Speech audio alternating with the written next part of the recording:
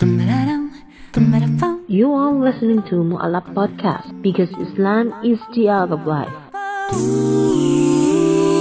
เก็บมาเล่า Tell Our Story กับซะ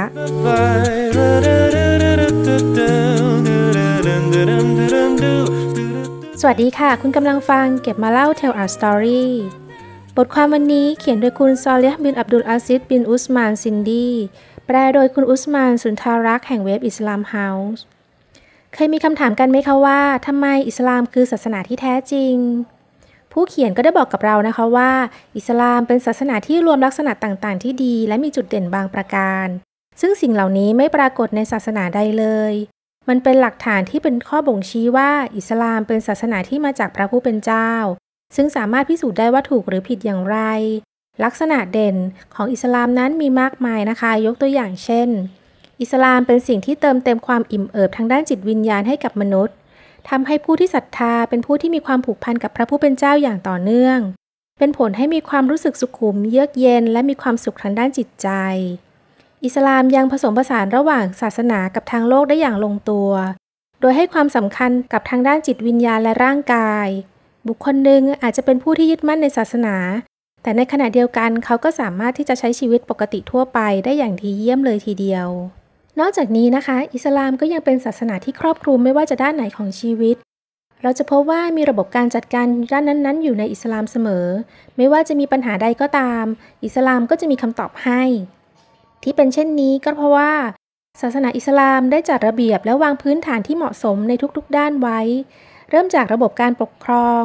และแนวทางการแก้ไขข้อขัดแย้ง ตามมาด้วยระบบการค้า หุ้นส่วน และหลักปฏิบัติระหว่างกัน การวางระบบความสัมพันธ์ในสังคม การใช้ชีวิตร่วมกันในครอบครัว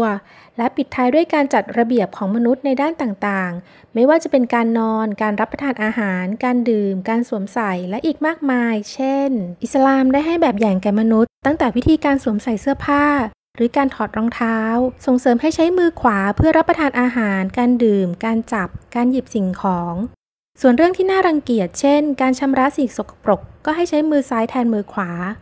และนี่ก็เป็นตัวอย่างเล็กๆ น้อยๆ จากบทบัญญัติของอิสลาม ที่ครอบคลุมและกำหนดระเบียบทุกๆ ด้านของชีวิต ส่วนหนึ่งของความโดดเด่นและพิเศษของอิสลาม คือ ทุกๆ ข้อบทบัญญัติของอิสลามนั้น คือการนำมาซึ่งสิ่งที่ดีงาม ที่เป็นประโยชน์และขจัดสิ่งไม่ดีออกไป ดังนั้นบทบัญญัติต่างๆ ของอิสลามจะนำประโยชน์กลับสู่มนุษย์เอง และสังคมของเขาด้วย เช่น การห้ามดื่มสิ่งมึนเมาและสิ่งเสพติด เนื่องจากว่ามันมีโทษที่เป็นอันตรายต่อสติปัญญาและสุขภาพ เราจะเห็นว่าทุกวันนี้นะคะ ก็จะมีอาชญากรรม การทะเลาะวิวาท อุบัติเหตุ หรือการข่มขืนกระทำชำเราเกิดขึ้นมากมาย สิ่งนี้คงจะไม่เกิดขึ้น หรืออาจจะเกิดขึ้นน้อยลง ถ้าหากว่าไม่มีการเสพสิ่งต่างๆ ที่ทำให้เสียสติเช่นนี้ไปซะก่อนการที่อิสลามห้ามมีความสัมพันธ์ทางเพศที่นอกเหนือจากการแต่งงานนั้น ก็เพื่อให้มนุษย์ได้ห่างไกลจากโรคที่เป็นอันตราย เช่น โรคเอดส์หนองใน หรือโรคทางเพศอื่นๆ และเพื่อให้สังคมได้ห่างไกลจากสภาพที่เสื่อมทรามทางศีลธรรม และไม่ให้ทารกกลายเป็นเด็กถูกทิ้ง ขาดความอบอุ่นจากพ่อแม่ จนสุดท้ายต้องกลายเป็นภาระของสังคม อิสลามได้สั่งใช้ให้ผู้หญิงปกปิดเรือนร่างอย่างมิดชิด ท่ามกลางฝูงชนและชายแปลกหน้า เพราะอิสลามมองว่าสตรีคืออัญมณีอันล้ำค่าที่ต้องหวงแหนและเก็บรักษาให้ดี พวกนางไม่ใช่สินค้าราคาถูกที่ถูกเสนอต่อหน้าผู้คนทั่วไปได้ และเพื่อปกป้องพวกนางจากผู้ที่ไม่สนใจต่อเกียรติ คุณค่าและความบริสุทธิ์ของสตรีเพศเลย ความพิเศษอีกด้านหนึ่งที่โดดเด่นในอิสลาม คือ การเอาใจใส่ในเรื่องของคุณค่า ลักษณะนิสัย จรรยามารยาทและได้ห้ามปรามการอธรรม การละเมิดสิทธิและนิสัยที่ไม่ดีทุกประการ อิสลามเป็นศาสนาแห่งความรักและการอยู่ร่วมกัน เนื่องจากได้มีการวางระบบความสัมพันธ์ของมนุษย์ ต่อบิดามารดา ญาติพี่น้อง เพื่อนบ้าน มิตรสหาย และได้ปลูกฝังจรรยามารยาทที่ดีงามที่สุดไว้ในตัวผู้ศรัทธาทุกคน มุสลิมได้ถูกห้ามการใช้ชีวิตเพื่อตัวเอง แต่ได้สั่งสอนให้มนุษย์ รู้จักการที่จะช่วยเหลือและเห็นใจความรู้สึกของเพื่อนมนุษย์ด้วยกัน ดังนั้น คนยากจน เด็กกำพร้า ผู้สูงอายุและแม่ไม้ในอิสลาม พวกเขาเหล่านี้ล้วนมีสิทธิที่มุสลิมจะต้องดูแล และจะต้องไม่ช่วยเหลือเพื่อหวังที่จะลำเลิกบุญคุณ หรือดูถูกดูแคลนพวกเขา แต่ทว่าจะต้องทำไปด้วยความตระหนักว่า มันเป็นหน้าที่ที่จะต้องปฏิบัติ และเป็นภารกิจจำเป็นของพวกเขาเลยทีเดียว ในอิสลามถือเป็นบาปใหญ่สำหรับใครคนหนึ่งที่นอนหลับในสภาพที่ท้องอย่างอิ่ม และรู้ว่าเพื่อนบ้านของเขายังอยู่ในสภาพที่หิวโซ และเช่นกัน อิสลามได้ห้ามบุคคลสองคนกระซิบกระซาบคุยกัน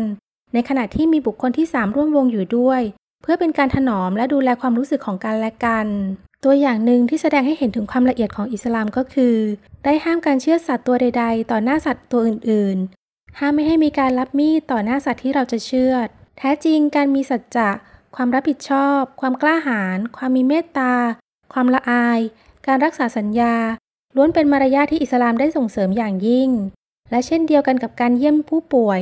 การเดินส่งศพผู้ตาย การทำดีต่อพ่อแม่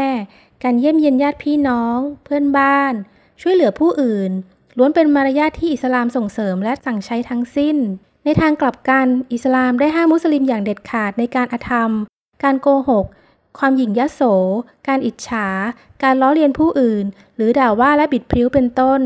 อิสลามไม่อนุญาตให้กล่าวถึงบุคคลที่สามในทางที่ไม่ดี ถึงแม้จะเป็นจริงก็ตาม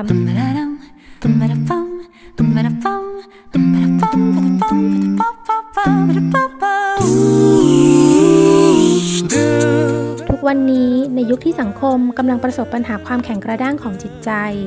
นิยมวัตถุกันอย่างเกินขอบเขต และเห็นแก่ตัวกันจนเลยเถิดเรากลับพบว่า อิสลามมีทางออกในการแก้ปัญหาเหล่านี้เอาไว้อย่างดีที่สุด ถึงแม้ว่าเราจะเดินทางมาถึงยุคที่ถูกทำให้อิสลามดูน่ากลัวในสายตาของผู้คนต่างศาสนิก แต่หากคุณลองเปิดใจและลองเข้ามาทำความรู้จักกับอิสลาม คุณอาจจะพบเรื่องน่าประหลาดใจอีกมากมาย ที่คุณเองก็อาจจะคาดไม่ถึง